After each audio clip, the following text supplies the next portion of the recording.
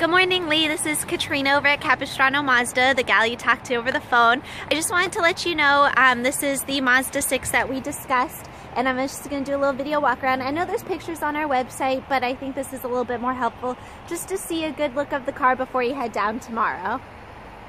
So this is the Mazda 6 Touring here. It's in the Meteor Gray color, which is um, a really cool looking color on the Mazda 6. I like it a lot. It looks very sleek.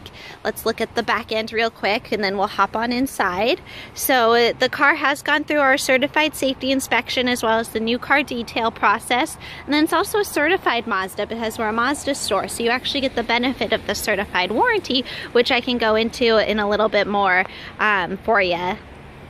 Alrighty, getting inside of the vehicle, you can see that with the Touring, you have the nice leatherette seats. You also have a power seat adjustment on the driver's side. You have a good amount of space in the back with those seats folding down as well to a nearly flat.